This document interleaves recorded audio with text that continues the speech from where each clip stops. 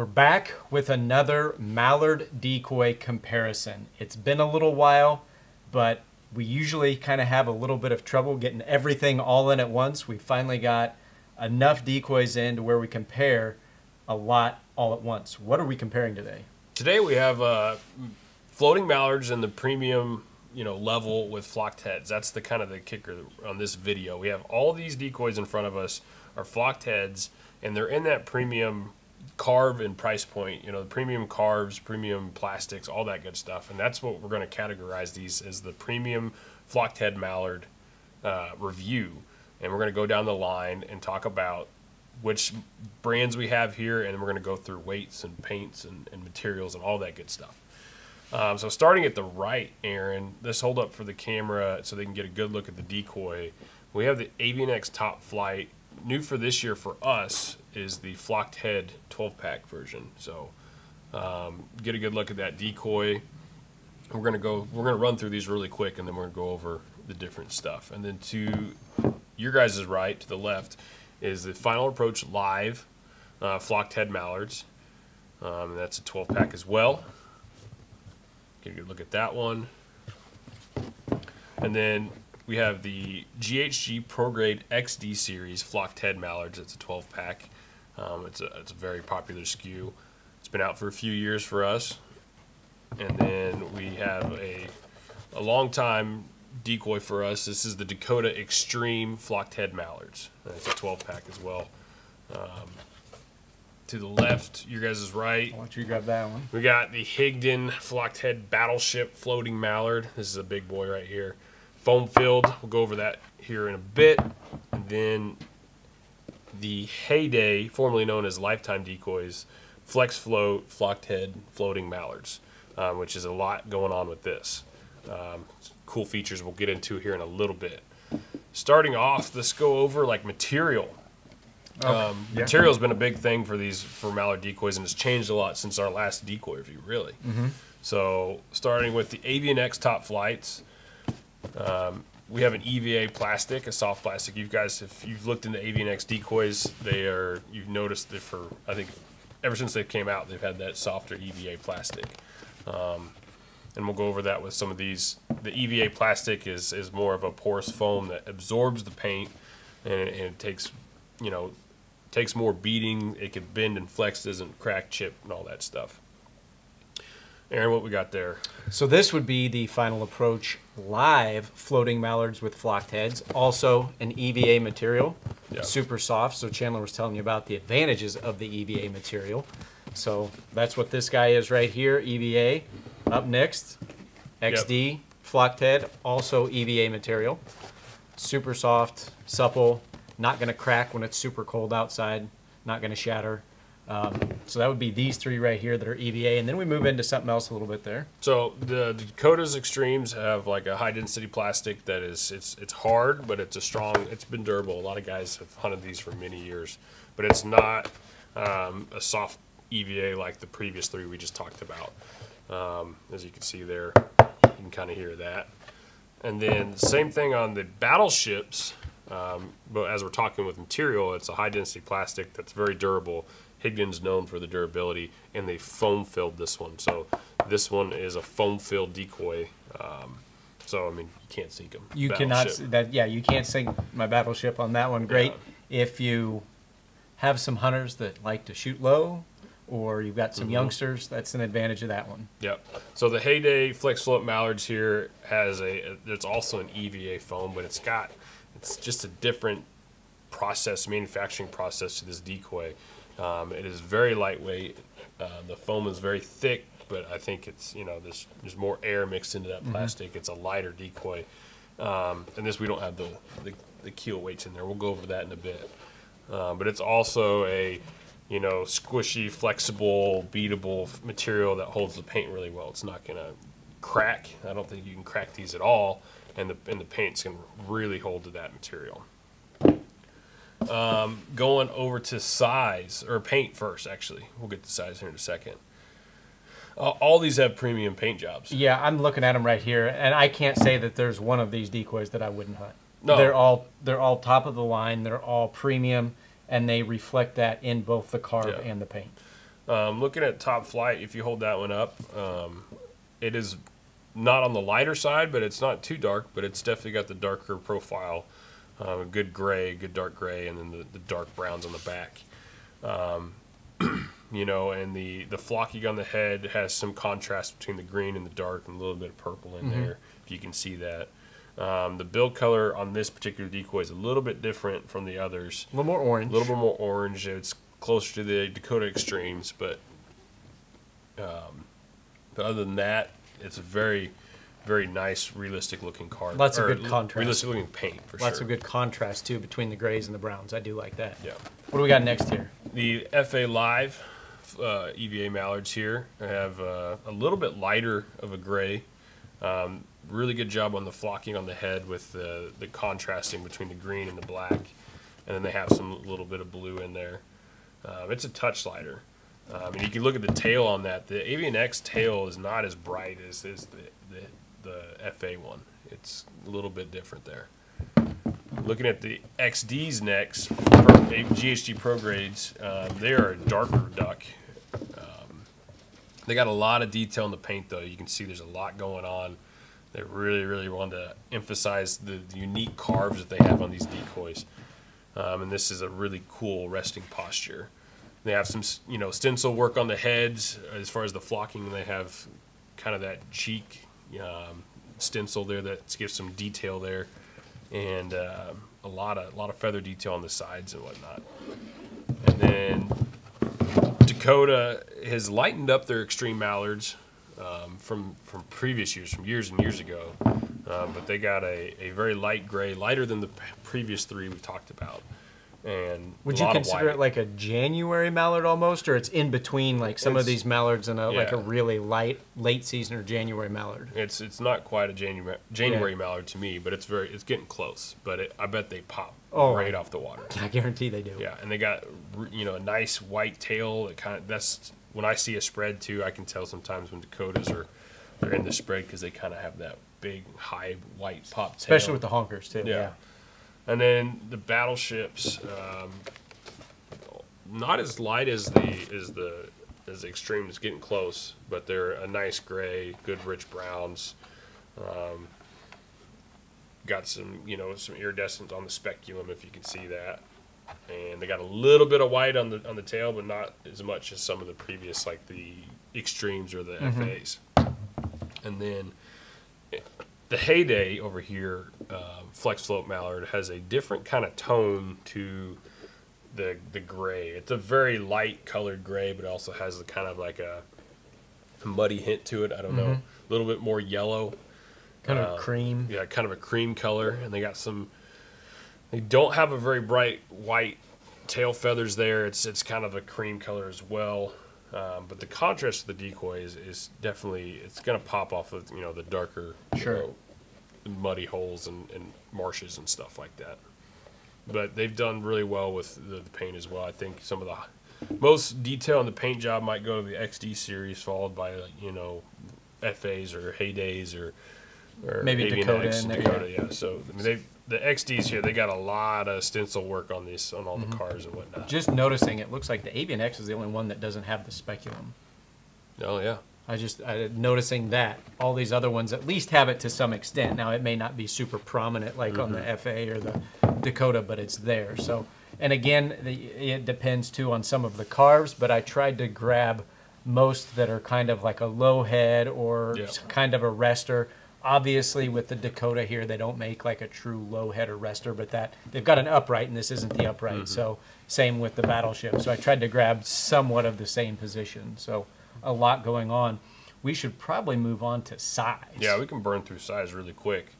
Um, looking at size, it looks like if you just pull up XDs and Avian X, they're probably towards the, the smaller size, but they're I mean they're they're life size, so they're they're not Yes. small decoys at all, but they're they're life size to a, a you know a mallard, you know Mm-hmm. an average mallard, I would say. Uh, you can see that there, and then I'll hold up just compared to the XD. The FAs get like a ten percent, I don't know, fifteen percent, Little bit bigger, growth. sure. They're a little oversized. They're just you know bigger butterball Yeah. Mm-hmm. of a mallard. You see that in there, yeah. Just longer. You can see that, and you know, probably the same width on this particular Exactly. carve. That one's got a really wide carve to it. And then I would throw that, I would say the FA's compared to maybe the Dakota, Extremes, or yeah. what about the Lifetime? How's it fit in there size wise? So the lifetime, I feel like, is more of a is a size of like that XD that we were. Yeah, I think about. you're right. Yeah, but the- Looking at that, yeah. The Dakota has is actually probably longer than the the FA a little bit, um, but maybe not as wide. They're very very similar in size Mm-hmm. Sure. for sure. But yeah, if you hold the XD up compared to the uh, Heyday, or that's the FA, so you can see it's a yeah. little bit. It's got some width to it, but it's a little bit shorter. So yeah, there it is compared to the XD, which very is going to be very similar yeah. in size. Yeah. And then of course the battleship is Sure. the big guy, as you can see here. That's that. I mean, looking at maybe compared to the FA Live, you can see the difference. That's the battleship right there. Mm-hmm. You know, hold it out of the camera. Yeah. It is. It is big. Yeah. It is big. So the reason we kind of picked that one, I know it's it's big, it's huge, but we're trying to get it to where if you go with a 12 pack price, these are all premium, top of the line from Yeah. these brands, and in a 12 pack price, they're going to be very similar. Yeah. So, real quick, we're gonna burn through some weight. Okay, let me get a scale.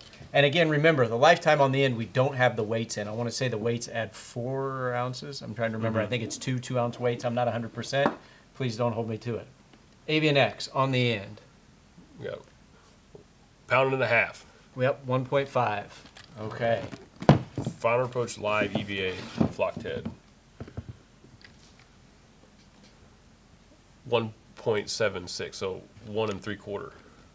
A little bit heavier, but a, a bigger decoy, so it's very similar. To get the scale to zero out here. There we go.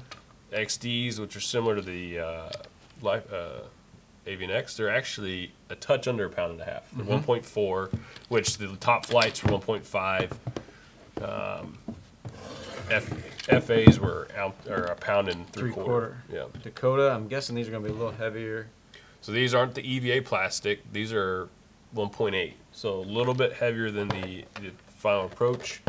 Lives. We'll just Now, jump over- yeah, we're we'll to get the two drastic ones coming up next. So this one is going to be extremely light because we don't have any keel weights in there. So like you know these other decoys have sand in their keel. These weigh sub a pound, 0.86. Mm-hmm. Um, so sub 16 ounces. But you throw in, they're going to be probably over. They yeah, they're just over a pound, like 1.1 or something when like you that. throw in I the believe weights. so. That's still the lightest on the table. But I, I know guys that run without weight, so Correct, yeah. Now this guy, hold on. so this is a foam filled, and we'll go over that in a second. Um, the biggest decoy here. So it, we're going to give you the weight, but just you know, Bear with me while I get this guy through here. All right. 2.3, so just over two and a quarter, um, over two pounds. So,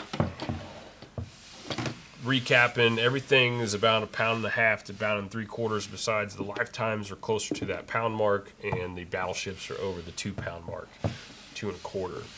So, kind of going over the features, why each the, none of these decoys have all the same features. They're all a little bit different. And this is where where you're probably going to start to set in on what decoy you like the best. Starting with the top flights, um, we have a one piece decoy. It's EVA. With, with EVA. So that's the we talked about that at the beginning, and then it has multiple head positions. Um, In the in the 12 pack. in the 12 pack and it's got multiple rigging points and a really nice way to wind your cord on the keel if you're not using the full length of that, that your Texas rig line or your decoy line. Um, one of the features on FA besides the EVA and the flocked head and all that is the FA 12 pack has a ton of head positions, so ton of carves and whatnot. And it's got multiple rigging points on the keel. It's a weight forward keel, all the good stuff this one comes with a bag. and this one comes in this particular pack with the flocked head. It does come with a bag, so I would say yeah, that's a good feature. And then the XDs, I mean, multiple carves, like multiple different looks. It's you know up there with the final approach and different offerings in that 12 pack. 60-40 keel on the GHG. They've been using that for a long time, and then they have Multiple rig multiple points. rig points as well. That's the Harvester 12 pack. Yeah. The Dakota Extremes here, they don't have, you know, some of these previous ducks, we, we have surface feeders and stuff in the Yeah, in uprights, packs. resters, yeah. Yeah, surface feeders, different things like that. Uh, the extreme mallards don't have like a surface feeder, uh, particularly in this pack. They have a couple different head positions, and they have the same body, but they have multiple heads. This is a two-piece decoy, um, and you can kind of pick left, right facing, you know, this you know a standard swimmer look or you know the regular upright. I think they have a little bit taller head as well, Mm-hmm. and you can kind of twist them around and whatnot. You can even kind of make a preener look like. Exactly, yeah. Multiple rigging positions on the Yep. keel. So it is a two piece. You have to install the heads when you get them, um, but they're very good. They've been used over time. They're a very good head connection. Yes. The Higdon is also a two piece um, with a really nice dark flocked head. I do like that. And then this, the features on this are, I mean, they're indestructible. They're foam filled. The paint holds up really well. Multiple rigging points. The head positions on this were they were they mainly uprights? Or they have a feeder in that pack? They've got they do have one feeder in the pack which is a one piece. okay. So it's the kind of the rester and then the uprights, which are a two piece. The surface feeder is a one piece, I believe. Gotcha. But yeah, I mean they're very good, solid connection. Again, you can do kind of a preener or Yep. whatever you want to do there. But gives you some options. That two piece gives you different looks. Your ducks all, don't all look the same. These other one pieces, you know, to, to make all your ducks not look the same, they they have multiple multiple head positions, resters, uprights, drinkers, you know, feeders, all that good stuff. And then we have the the heydays here. Um, the cool thing about this, look at this open cavity here. Uh, this is their flex float keel system. Um, the swimming action is supposed to be increased with this keel system. Um, you can rig them from the front and the back, so there's two rigging points. Um, flocked head, this is a rester. How many, do they have any more head positions on the, the mallard? I think it's just one. yeah, It's just one, so just this head position, just a nice loafing rester position.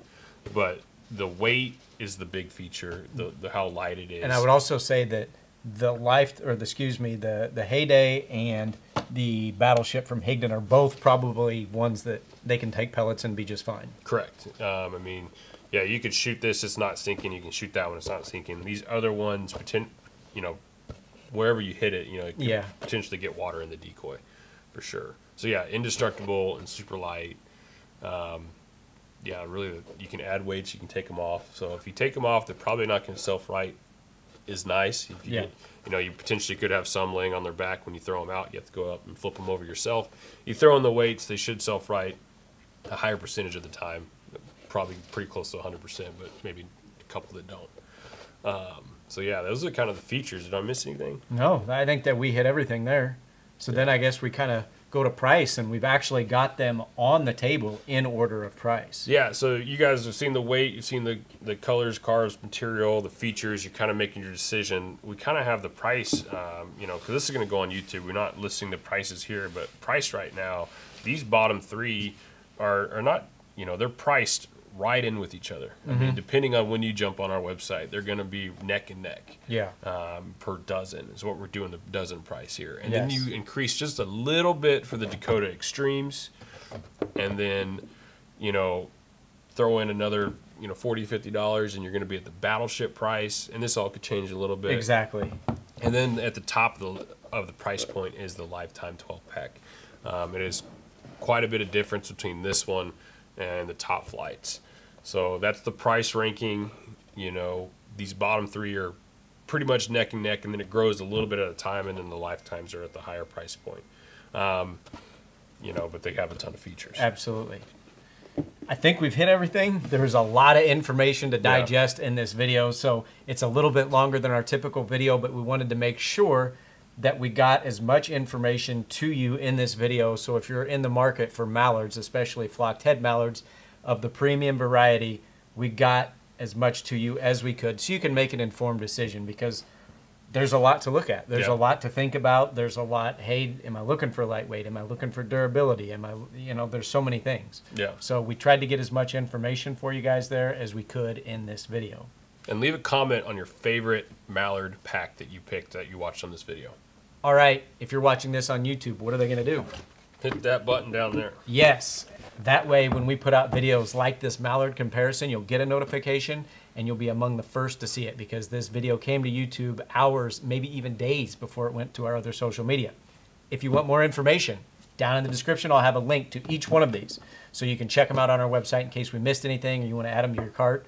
Um, Also, head over to Facebook, head over to Instagram, follow us over there, and if you use Rogers branded products, tag us, and you may see yourself featured on our social media.